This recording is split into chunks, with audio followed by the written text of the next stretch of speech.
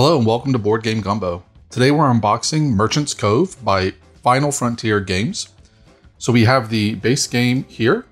We also have the three character expansions and the secret stash. We'll get to those a little bit later. This is uh, quite a big game as you can see, so we're going to need all the table space we can get. So let's just start with the base game for now. Merchant's Cove is a game for one to four players. It can play up to five if you have the character expansion boxes. Plays in 45 to 75 minutes. It is a Euro game uh, with variable player powers, and not only player powers, but variable player boards. So let's see what we got in here. We got some very, very crinkly packaging. So this appears to be a lot of our character specific pieces. So let's just put those aside for a minute while we look for the main game board, because that's going to help us uh, explain this a lot better. We've got a guide on how to put everything together. There are a lot of 3D elements in this game, so nice little guide just to show you how to do all that. Here's our rule book.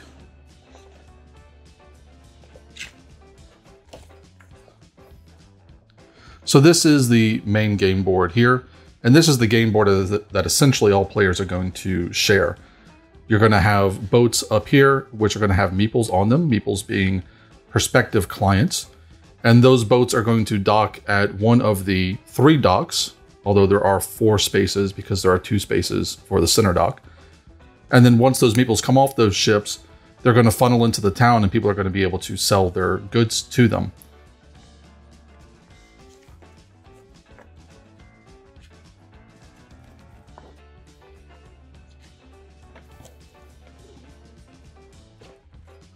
This is a fairly short rule book. Part of that is because um, the rules for each player are different. So we'll see that when we get to the specific player uh, teaching guides. So it looks like our main game board was with those first few things. So let's go ahead and take a look at that real quick. So it is one-sided, but instead of just leaving this back side blank, they have sort of a a map to the area on it, which is a nice little touch. And there is our game board. So it's a euro, so obviously you're trying to score points. Your, your points are your money. So as you accumulate money, you're going to be moving up on this point track. You have the cove itself at the top where the ships will be and the three docks. Here are essentially people you can hire throughout the course of the game.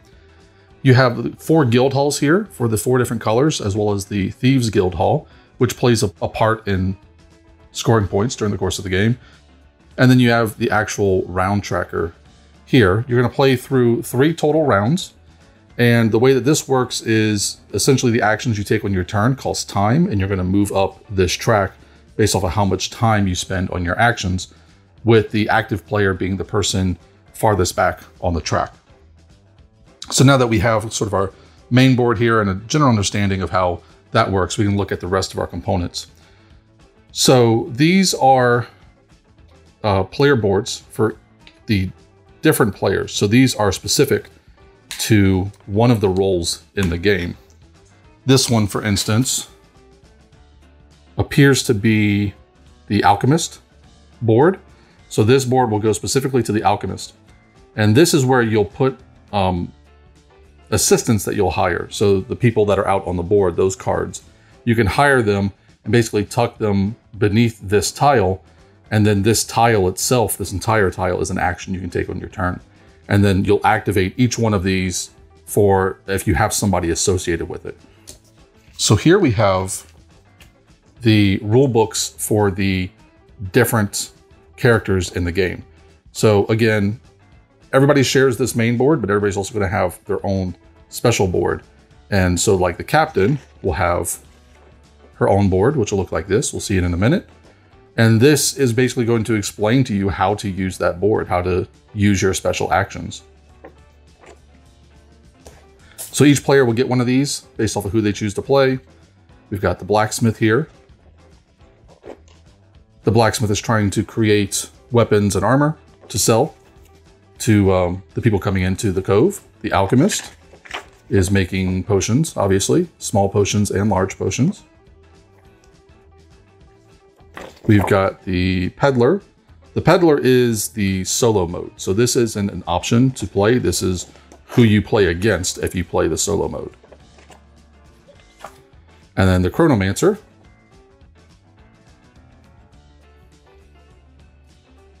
The chronomancer is, I don't know exactly what he's doing. I think he's going back in time and trying to recover artifacts that he's selling to people. I don't know exactly what it is that he's selling up here. I don't know what those are, but um, he looks really interesting because he moves.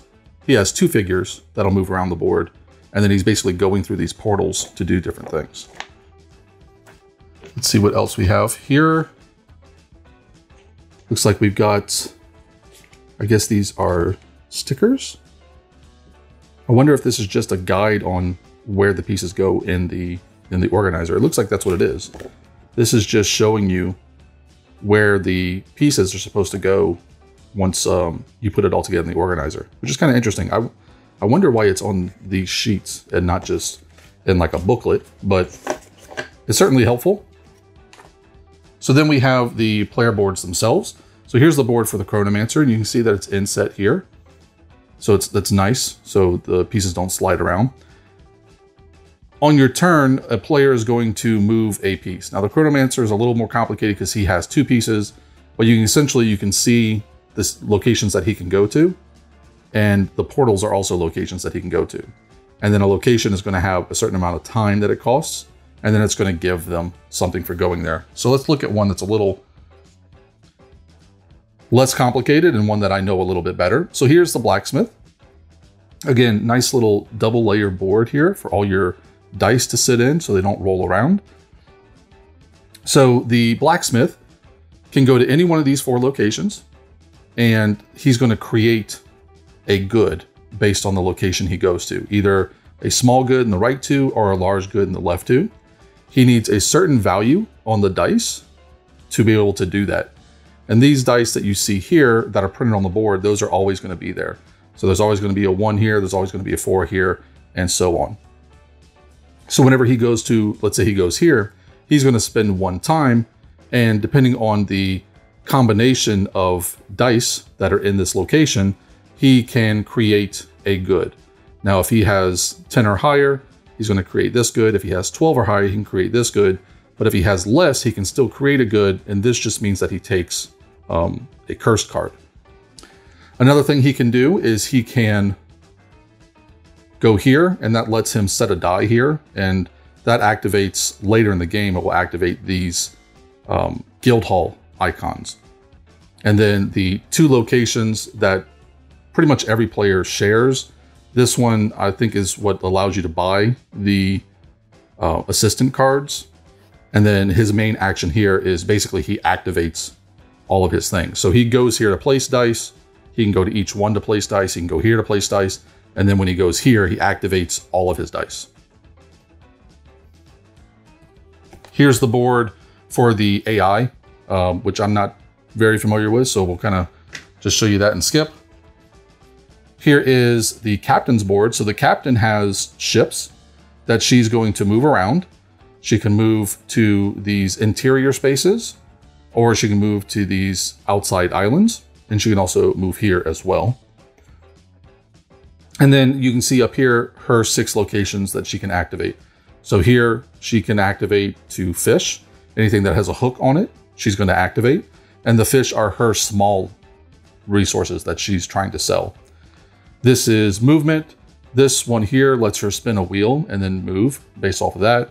And here she can dig up these treasures, which are going to be on the four islands. If she's got a ship here, she can activate this to pull up these artifacts, which are her large items that she's trying to sell. And then her two locations that everybody shares. And then finally, in the main boxes, uh, at least, is the Alchemist. The Alchemist is going to have a spot up here. You're going to have to put it together. It's a little 3D piece that the marbles are going to come down. And then she can move and manipulate those marbles into these spots to create her potions. So She can create small potions if she has two resources of the same color. She can create a large potion if she has two resources of the same color and any third resource.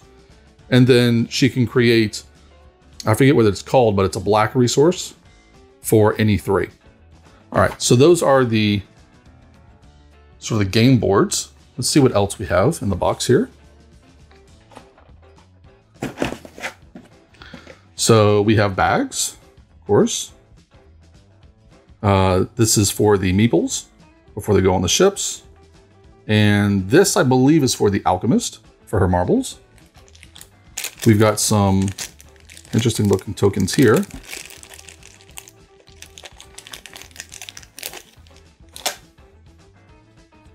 So these tokens, this isn't for the AI.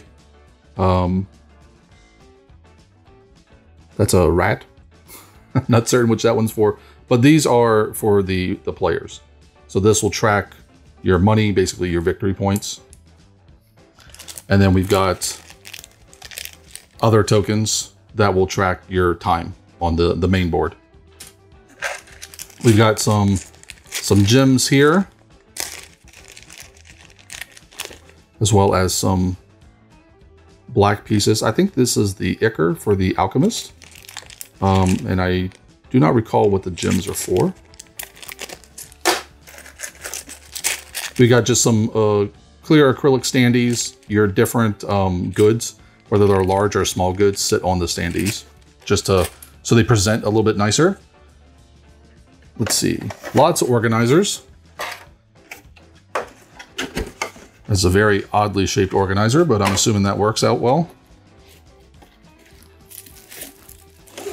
Got punch board here. All right, so punch board for the Chronomancer. Here's his portals. So when you put two pieces together, you'll have something like this. So if you were to go to this location, you would create either a red or a green small good, and it will cost you two time because it has two time icons. These do flip over, and on this side, they're generally better. So again, same two tiles, but now it only costs one time to create the same thing. Here's different resources that the Chronomancer creates. All this punches out really nicely, no complaints there. Here's some of our ships. So you'll have to put all this together. You can see this ship here has a lot of pieces that bend and, and move around. But we'll have to assemble these ships before we start. We've got some flags up here.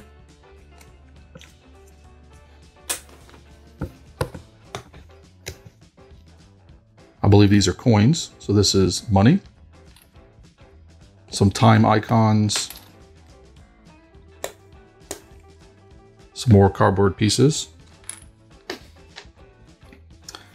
Here is, I believe this is the, the Alchemist selling board. So we'll have to put this together as well. This will be where her all her, her goods sit on, basically, just to present them.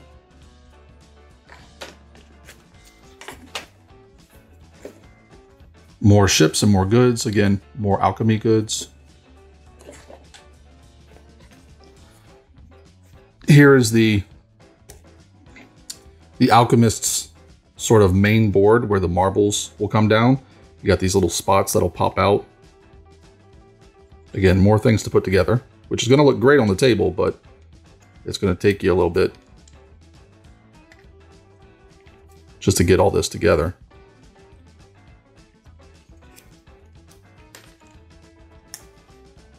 So punched out all those little pieces. You'll have little rails that'll basically slot in here and it'll create two tracks, one that'll go this way and one that'll go this way, and the marbles will actually sit in those tracks. Let's see what else we got here. We got a piece of cardboard with some, it's been punched out. That's, uh, wonder if I'm supposed to save that. We'll save that for now. Here are our meeples. Very nice meeples.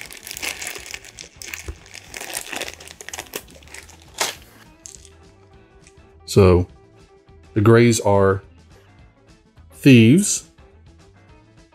We've got blue meeples, yellow meeples, and then green and red as well. Our marbles for the alchemist. Several different colors. These are not glass marbles, they feel plastic. They're still nice, there's nothing wrong with them, but they are definitely plastic.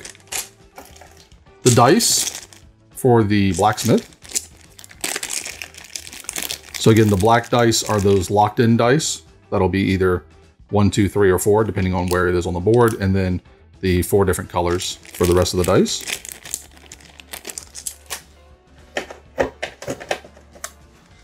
Here is the captain's wheel. So that one action that she can take lets her spin that wheel. And then I'm not certain, I guess that's on that side. Uh, let you take a certain amount of movement and then also let you uh, set down coins uh, on a location that she can go to later. Our figures, which are on the small scale. So four boats for the captain. They all appear to be the same. And then the actual figures themselves. So here's the captain. They are on the small side. Um, usually figures this small kind of, they don't have a ton of detail to, to them. This one isn't bad at all. You can clearly see her face. She's even got some, a little bit of definition in her hat. Yeah, these are not bad for the size.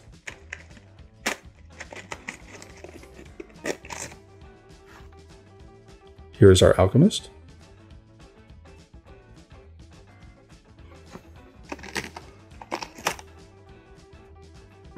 Blacksmith.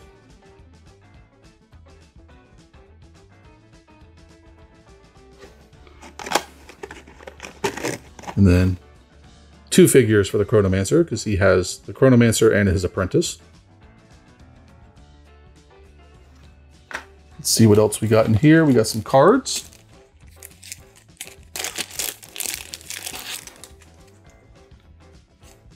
So this is just an extra module. You don't have to play with it, but you can.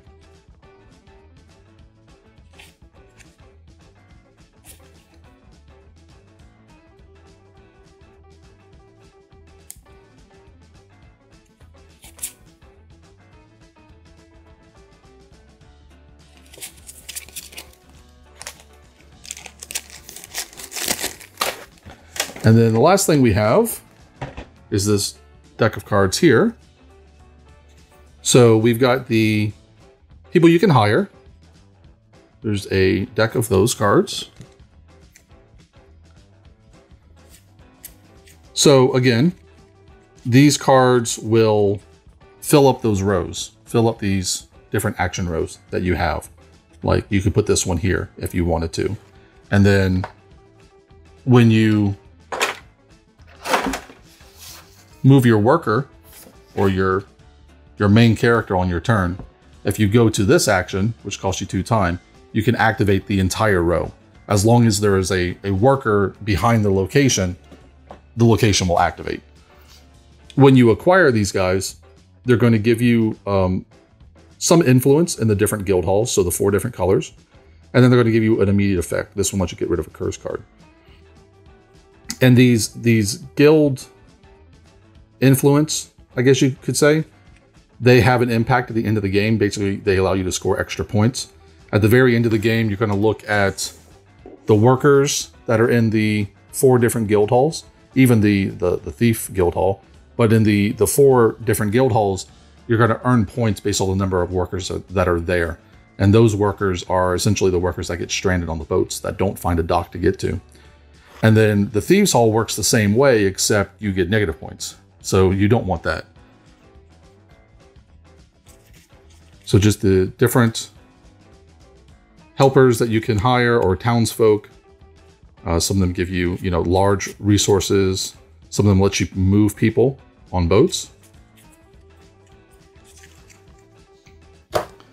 What else do we have here? These lantern cards. Must be for the AI.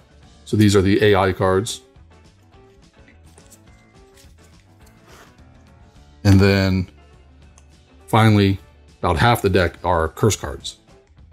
So curse cards you're going to draw from the top of the deck. Nobody's going to know what you have, but some of them are just ones. Some of them are worse than that. So this one is two curses, but it also gives you one green faction, which might, might uh, counteract the negative points. So that's it for the base game. Going to clean up and then we'll take a look at the different character expansions. And at the very end, I think we're going to try to get everything back into the box the way they uh, describe it. So uh, I'm curious to see how all of this is going to fit back in the box. All right, so we're back for the character packs. We have three of them. We have the Dragon Rancher, the Oracle, and let's start off with the Innkeeper. Again, if you have at least one of these character packs, the game will play up to five players. It will never go over five players, though. If, even if you have all three, you can't play seven. So we've got our little character sheet for our innkeeper. Tells us how his particular board works.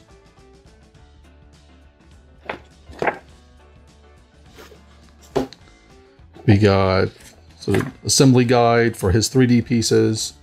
So he's got beds and looks like drinks that he's trying to sell. Here's his board itself. No double layering on this one, just flat. So here is where our beds would be up here and then our drinks.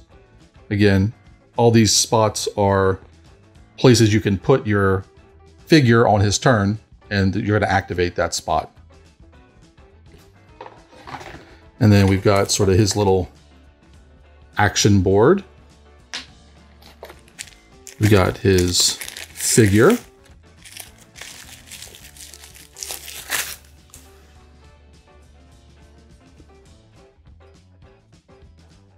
Probably my favorite figure so far.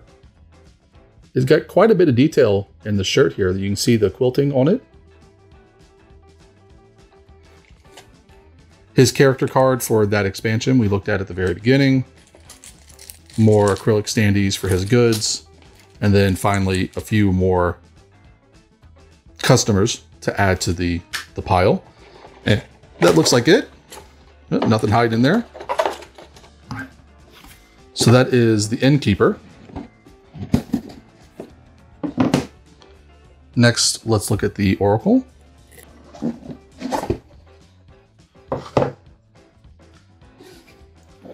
Here's the guidebook for the Oracle.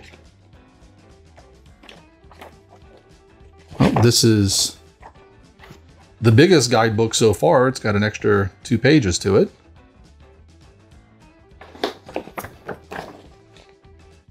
I wonder if they have a complexity rating on these characters. I haven't seen one yet, but you'd have to think that she would be the most complicated one since her booklet is the biggest. More assembly guides. Looks like she's selling charms or something with uh, runic symbols on it. These numbers you see are the value of the good. So whenever you go to sell a good to a ship, you're going to get that value for them. You actually get that value based off of how many of that color in a ship. So if you were to sell this small good to a ship that has three red people in it, you'd actually get nine coins for it, or nine gold, or nine points, however you want to look at it. This is interesting because this is a very large piece. I know she has a um, a bowl, one of her pieces, and I think this is it. This is her. She has like a bowl, and it's it's got a divider in it. And on your turn, what you do is you you cast runes. So she's got I think five items, four or five items that she casts by throwing them into this bowl, and then this divider in the center is going to split them into one half of the bowl. And depending on what side of the bowl they end up on, you can use them for different actions. It's actually really interesting. Here's her player board, and wow, you can immediately tell that it's different from the other player boards once you you feel it. I don't know if you can see it, just how much glare is on it, but this is definitely something you write on. Uh, there's, yep, there's a marker in here. So this is definitely a, the, the roll and write character. Um, really interesting board though. I really like the uh, the crystal ball display there. A lot of stuff going on. There's her little action bar, like everybody else. Let's take a look at her figure.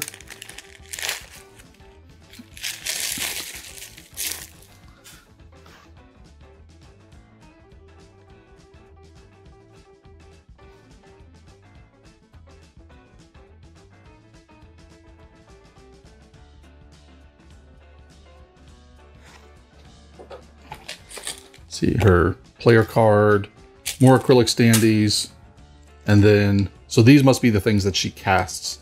So there's four of them. She's got a, like a little voodoo doll, a bone, and then two D4s.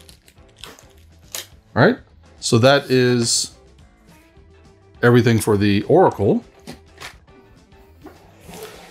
So I know these boxes have to be a certain size because these boards are in them, but this almost feels like a waste that these boxes are so big. But let's go ahead and take a look at the last one we have, the Dragon Rancher. And I think all these expansion characters are supposed to fit into the the main box. So these are big boxes that are probably going to get thrown away by a lot of people. It just seems I mean, they're great for the art. The art is fantastic. I mean, these are nice enough that you could actually, um, you know, cut around them and make sort of wall art of them. They're very nice, but seem a little unnecessary. Um, again, more 3D assemblage. Here's our character, little cheat sheet. So it looks like, as you would expect, the Dragon Rancher is selling dragons. Um, so she's got a feed the dragons. She's got to clean up after them. She's chopping down trees, I guess, to make more room for dragons. Here is our punch board with all our cardboard. She's got a little pin for her dragons because you don't want those things getting loose. All her dragons herself. Here's the main board and her actions on it. Player card. So she's got, I'm assuming these are food.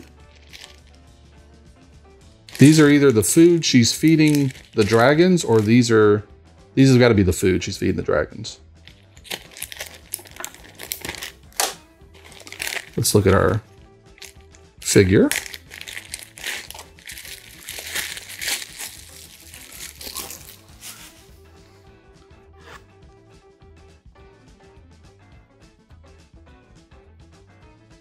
I wasn't, you know, totally taken by the the first four miniatures, but these expansion miniatures are even better. Um, there's nothing wrong with the the original four, uh, but for whatever reason, these expansion these three expansion characters, these figures look a whole lot better, a lot more detail, a lot cleaner lines. I'm really liking these expansion figures. Let's see, more standees. She's got a bag I assume for all of those meat pieces. Got some extra dragon punch outs. Some very cool looking dragons.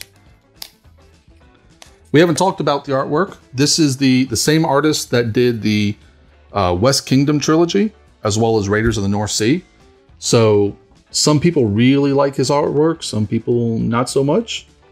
Um, I'm not a huge fan of the West Kingdom artwork but I'm really liking this. Maybe because it's got a more fantasy theme to it, it seems more appropriate. But these are really cool. See her little action board, and then what else we got in there? A little dragon that escaped. And that's it for our Dragon Tamer, which is the last of our three expansion characters. And then we'll take a look at the Secret Stash, which is Kickstarter stuff.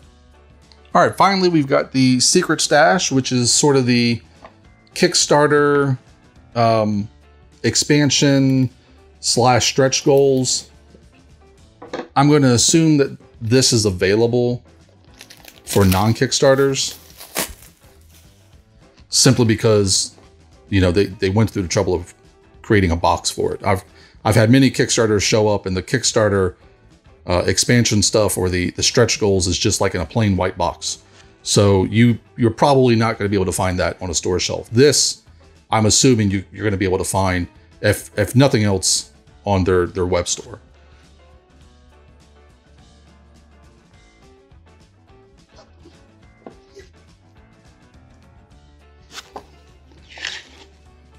So these are modules. So things you can include or, or choose not to. So we got new corruption cards. We've got rogue cards. A new set of townsfolk. Got rogue goods. Some extra boats.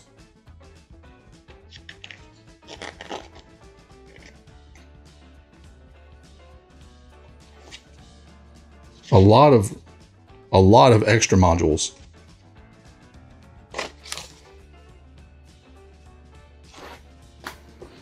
All right. So also we've got solo scenarios.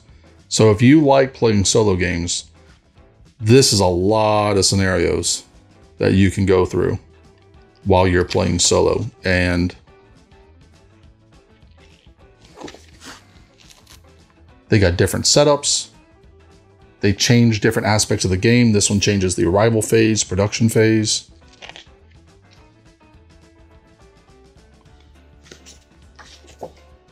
So a lot of a lot of playability for the solo mode in this one.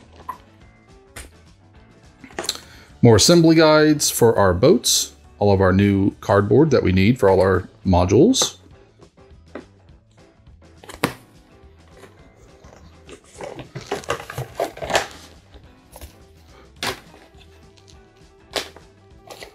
We've got the pirate cards, I believe these are.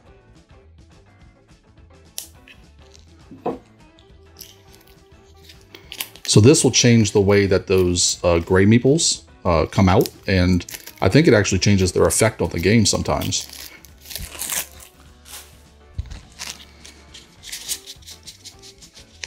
So at the start of the game, you'll draw one of these rogue cards, and it'll tell you a couple different things. Um, I think this tells you how many rogues to put out in the top right there. I think five go in the bag and then three go out onto boats maybe.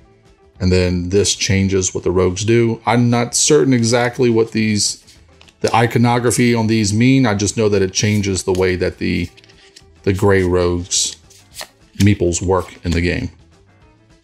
But more really good art. So I'm liking that. What else we got here? We got some boat cards because we got new boats. So this is just a, an alteration to the setup for the boats. So the boats, this is sort of the base game. This is how you play the game if you're not including a module. You've got six boats. Each boat ho holds four meeples. Three boats to the left of the island, three boats to the right of the island. And then as the boats fill up, they're going to land in one of the three docks. If they're on the left-hand side, they have to go to either the left dock or the center dock. The right-hand side, they have to go to the far right dock or the center dock. And then just cards that alter that sort of startup. And then a two, which I assume can go anywhere. It's interesting. More meeples.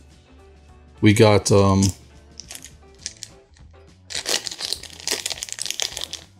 so that's a that's one of the gray guys, although he's white. And then we got a, a green one, a yellow one, a blue one. And then that must be the red one. Must be one of the modules. I just don't know which one. And then finally, a new set of cards. So more townsfolk to hire. A lot more townsfolk to hire. Wow.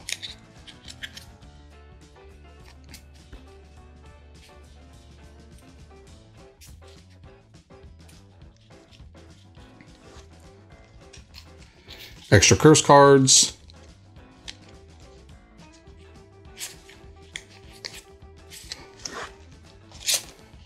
And then these, which I don't know what these are for.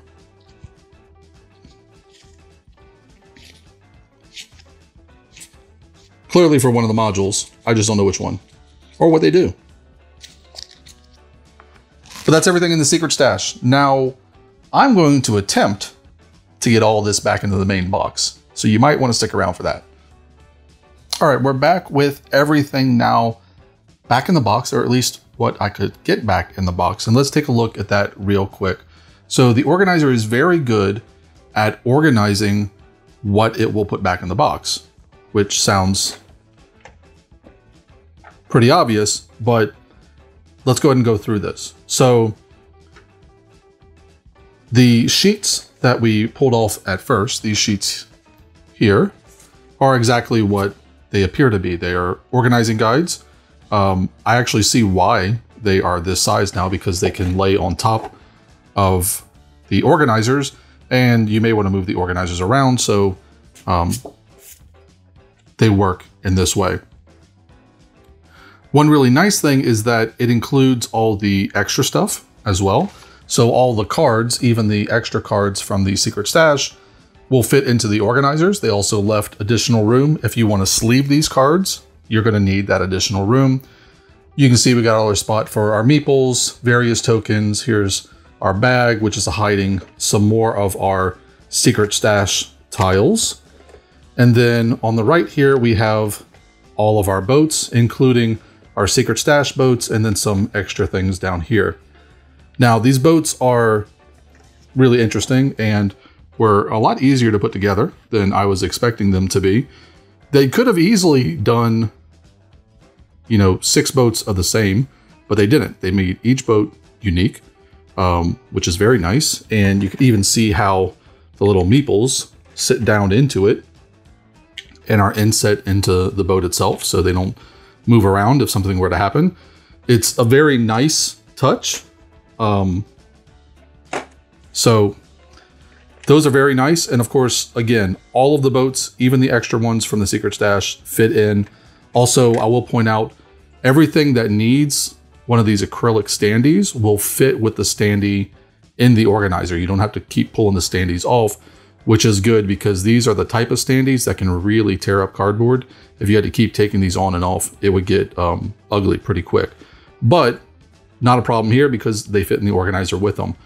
Uh, I will mention that I am missing a few uh, standees. Possibly I put them on things I wasn't supposed to, but I think I was short two or three, not many at all. So that's the first layer. And we'll put our little guides back on there. And then we have the other four organizers, which are for the four base characters. So we have the blacksmith. This is everything the blacksmith needs. All you got to do is whoever's playing the blacksmith, hand them that box. They're good to go. We also have the chronomancer. Same thing. With their little sheet on top. We have the alchemist.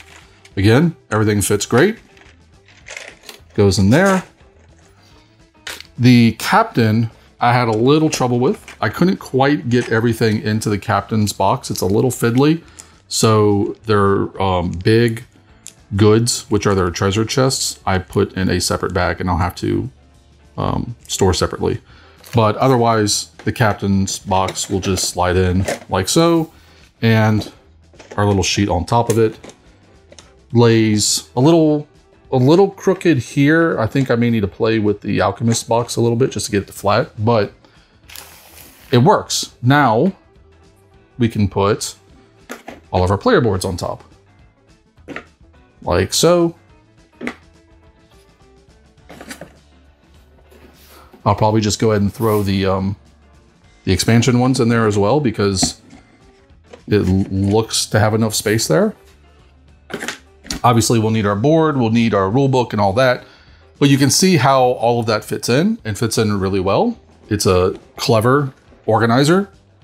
The downside is that we still have a lot of content that does not fit in that organizer. Essentially, all of the expansion materials, all of the three uh, expansion characters, will not fit in the base box. So you've got all your dragon stuff, your oracle pieces, more dragon pieces, dragon pieces, you got a bag.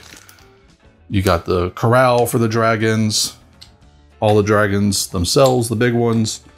All of that will not fit in the box. It'll have to go in, hopefully, one expansion box uh, will fit all of it. Uh, I did want to, I pulled this out a little bit just to show you kind of how this works. This 3D terrain that they include with the game, um, this is all it's for. And it's very nice and it's very clever and it looks great on the table. Um, and I'm not saying they shouldn't have included it, but I mean, this table, which you have to put together, not a big deal, but you still have to put it together. All it does is hold the drinks for the innkeeper. It, it's just a sale table of what he has available.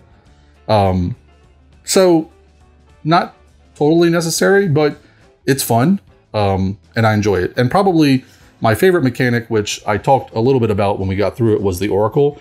This is the Oracle's sort of a rolling apparatus. I don't know exactly how to explain it. It's her divining bowl, I guess. So she's got five pieces in total. There was a little coin as well, which has a, a leaf on one side and a skull on the other. And on the Oracle's turn, they're going to drop those in those. And on what side they show up on determines what actions she can take. So this is probably the coolest little mechanic that I've seen in the game, and I just wanted to show it off. But that's everything for Merchant's Cove. That's the base box, Dragon Rancher Oracle Innkeeper, as well as the Secret Stash. And one last thing, the Secret Stash has an extra secret. So if you have the Secret Stash and you've unboxed it, make sure you've gone through the entire box or you might miss something. And that's all for us today. Thank you for watching.